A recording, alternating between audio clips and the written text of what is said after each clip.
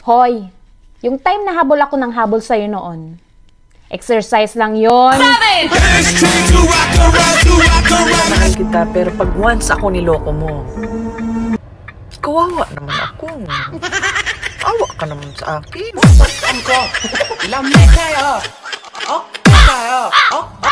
Kung ang jumbo hotdog nga, hindi ko inurungan. Hahamunin mo ko sa sausage lang. Tok, tok, tok. Okay lang naman sa akin kahit hindi ako maganda. Basta ang importante, mas pangit ka.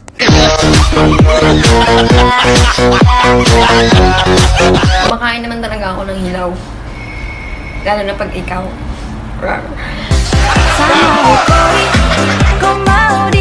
My future forever. Nasaan ka ng hayop ka? Ang tagal mo. It really hurts Ang magmahal ng ganito Kung sino pang pinili ko Hindi makuha ng Kung pangit ako sa paningin mo, hindi ko kailangan baguhin ang sarili ko. Palitan mo yung mata mo.